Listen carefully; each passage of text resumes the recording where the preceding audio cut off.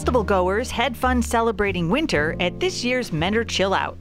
Civic Center Park was transformed into a winter fun land, featuring beautiful ice sculptures, outdoor ice skating, and dog sled demonstrations.